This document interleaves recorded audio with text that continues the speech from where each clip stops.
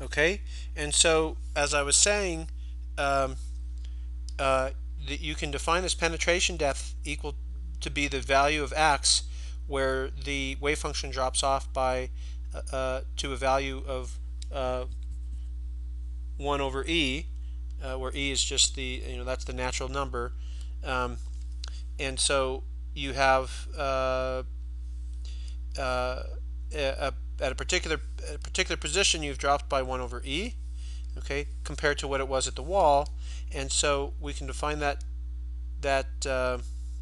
we can define that penetration depth, depth delta equal to be that position which uh,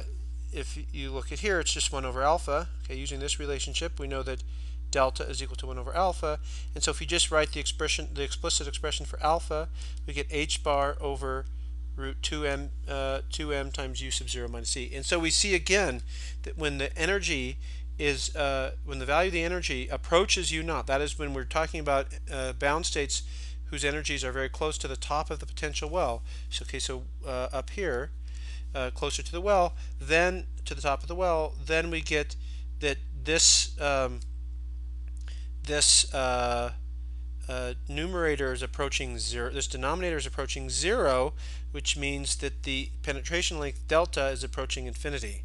So again, the penetration depth gets bigger and bigger as we get as we have states that are higher and higher up in the well, closer and closer to the top of the well.